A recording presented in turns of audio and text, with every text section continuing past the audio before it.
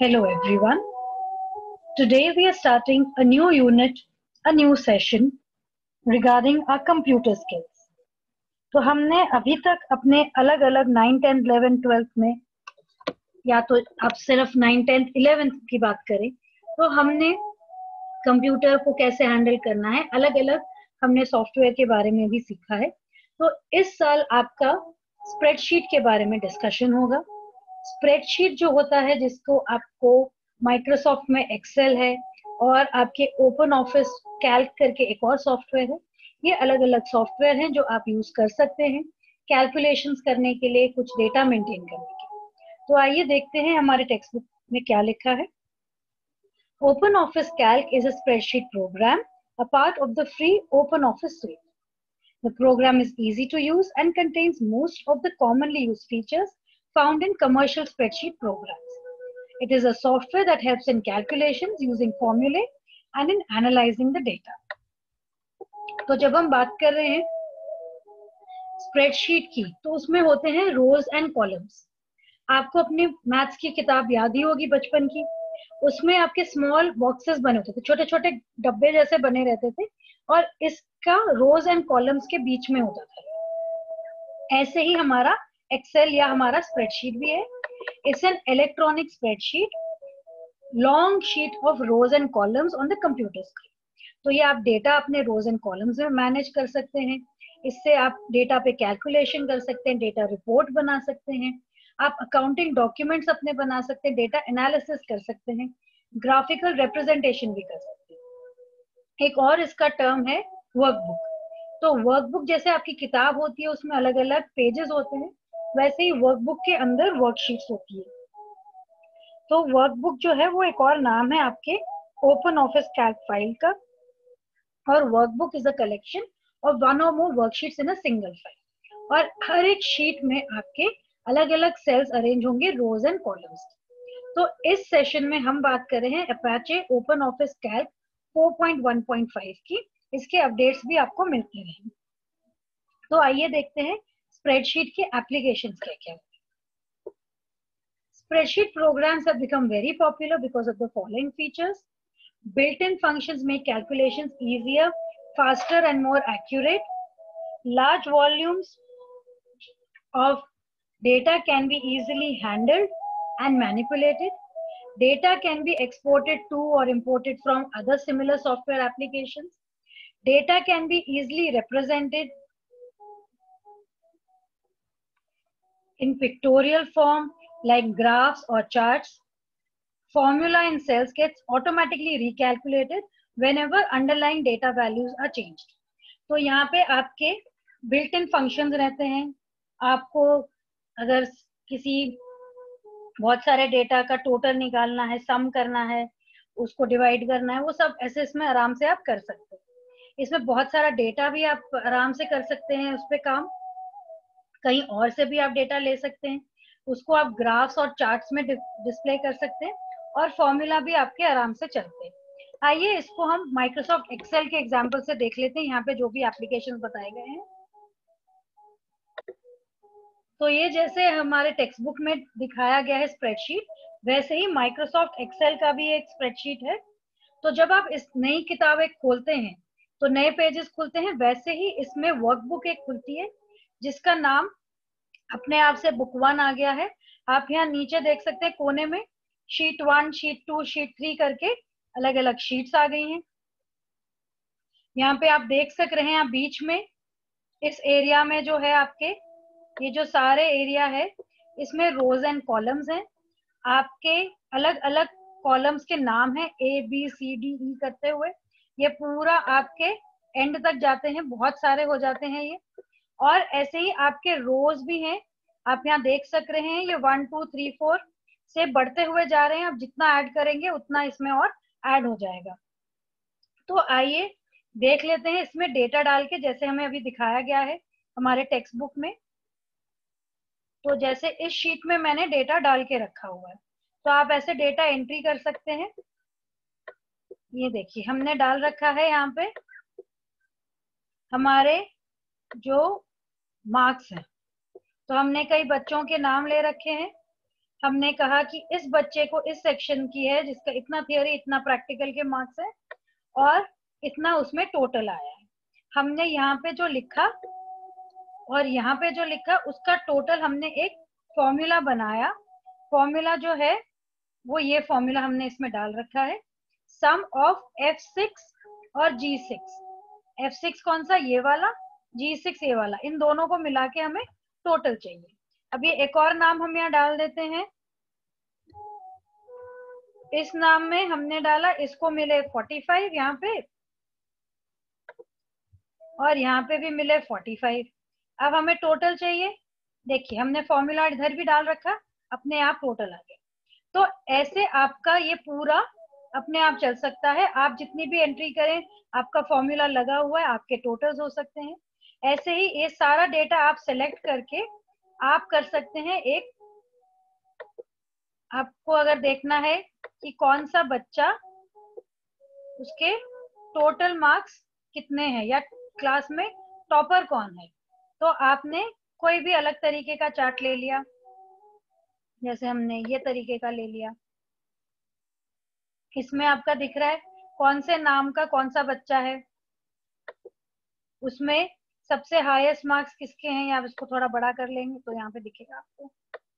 ये देखिए तो जो हमने नाम रखे थे यहाँ पे और जो हमारा डेटा है, वो यहाँ पे आ गया नाम के साथ साथ नंबर्स आ गए। इसका आप डायरेक्शन भी चेंज कर सकते हैं। आपको जो लेना है डेटा वो भी ले सकते हैं। तो जैसे यहाँ पे हमने कहा कि हमारे टोटल मार्क्स जो है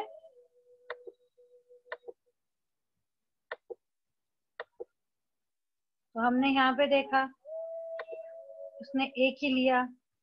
अगर हमें सिर्फ़ थ्योरी के मार्क्स देखने तो हाईएस्ट रेंज हमारा क्या गया? उसके साथ अगर हम देखना चाह रहे हैं नेम और टोटल और थ्योरी के मार्क्स हम ये देखना चाह रहे हैं अगर तो हम यहाँ पे हमने कॉलम बनाए। ये देखिए।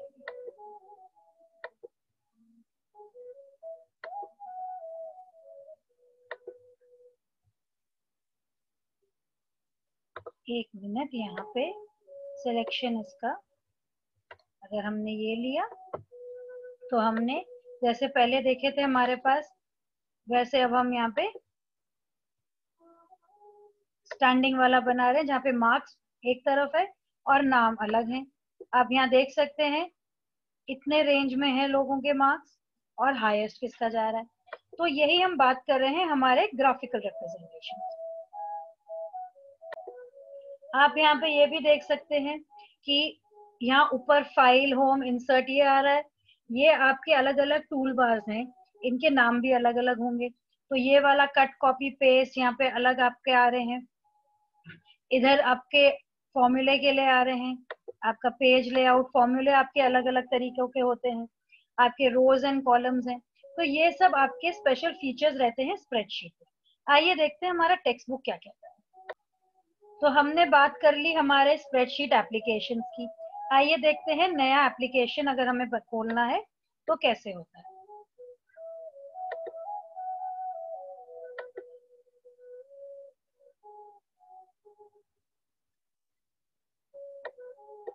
तो हमने यहाँ पे जैसे अभी माइक्रोसॉफ्ट एक्सेल का एग्ज़ाम्पल देखा, ऐसे हमारे टेक्स्ट बुक में हमें ओपन ऑफ़िस कैल्क के बारे में बताया गया है। एक नया वर्कबुक खोलना और उसको सेव करना। तो ओपन करेंगे हम स्टार्ट स्टार्ट से हम शुरू करेंगे, उसमें ऑल प्रोग्राम्स में जाएँगे। ऑल प्रोग्राम्स में हमारे पास ये होना चाहिए, उसके बाद हम ये कैल्क वाली शीट खोलेंगे। खुलेगा तो कुछ इस तरह दिखेगा, जैसे अभी हमने देखा माइक्रोसॉफ्ट एक्सेल का भी बहुत ही सिमिलर तरीके का शीट था। इसमें आपके रोज एंड कॉलम्स मैंने आपको बता दिए हैं। जहाँ पे आपका कर्सर होगा, वहाँ पे वो एक्टिव सेल है। उसके बारे में उसका नेम आ रहा होगा ए वन कौन सा रो है? ए सॉरी कौन सा कॉलम है? ए कौन सा रो है? वन टाइटल बार जो ऊपर का है, कौन सा टाइटल है इसका? मेनू बार में मैंने आपको दिखाई दिया था। स्टैंडर्ड बार है इसका। फॉर्मेटिंग के लिए बार है। फॉर्मूला भी मैंने आपको दिखा दिया था। और साइड बार और आपके यहाँ पे नीचे शीट टैब्स और स्टेटस बार तो ये आप देख ही सकते हैं अलग अलग आपके विंडोज़ का हमने कौन कौन से बार्स हैं कौन कौन से इसमें टैब्स हैं, वो आपको सब दिखा दिए तो एक एक करके इन्हें डिस्कस कर लेते हैं। कंपोनेंट्स इसमें रहते हैं टाइटल बार सबसे पहले टाइटल बार है जो नेम ऑफ़ द वर्कबुक दिखाएगा। और जब आप नए वर्कशीट पे काम करेंगे तो इसको अनटाइटल्ड वन के नाम से जाना जाएगा। अगर और बनाएँगे तो आप अनटाइटल्ड टू ऐसे करके होता जाएगा। फिर आप नया वर्कशीट बनाएँगे तो इसको आप सेव कर सकते हैं एक वर्कबुक में। राइट right साइड में आपका मिनिमाइज रेस्टोर और मैक्सिमाइज बटन रहेंगे। मेनू बार जो है टाइटल बार के नीचे आता है फ़ाइल एडिट ये सब आपके मेनूज आ जाते हैं। स्टैंडर्ड बार रहता है जिसमें आपका new, open, print, copy, paste, ये सारे बटन हो जाते हैं। फॉर्मेटिंग में आप फॉर्मेट कर सकते हैं फॉन्ट साइज़ किस तरह से आपने लिखा है, उसका कलर क्या होना है, उसका नंबर फॉर्मेट क्या होना है बैकग्राउंड कलर क्या होना है। नेम बॉक्स रहता है आपका और एक इनपुट लाइन रहता है फॉर्मूला बार में। और नेम बॉक्स में आपका उस एड्रेस दिखाता है सेलेक्टेड सेल का। और वर्कशीट में आपका पूरा जो है स्प्रेडशीट बाकी दिख रहा है रोज एंड कॉलम्स का। और वर्कशीट टैब जैसे मैंने आपको दिखाया शीट वन शीट टू करके दिखेगा। जिस भी शीट में आप काम करेंगे, उसमें आपको हाईलाइटेड दिखेगा वो। तो click the empty area after the sheet tab और इंसर्ट शीट करो। तो यहाँ पे आपको नया शीट डालना सिखा रहे हैं। यहाँ पे जो खाली जगह है, इस खाली जगह में आपने जैसे ही कहा click on the blank area आपने यहाँ क्लिक किया तो वो पूछता है आपको नया शीट डालने के लिए। तो इस तरह से आपने नया शीट डाल लिया।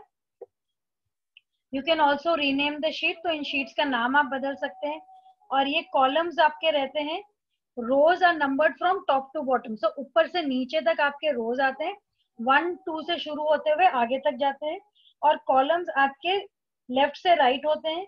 तो ए टू जेड तो आप जानते हैं अल्फ़ाबेट वहीं पे खत्म हो जाता है। उसके आगे वो चलता है ए ए ए बी ऐसे करते हुए आगे चलता है।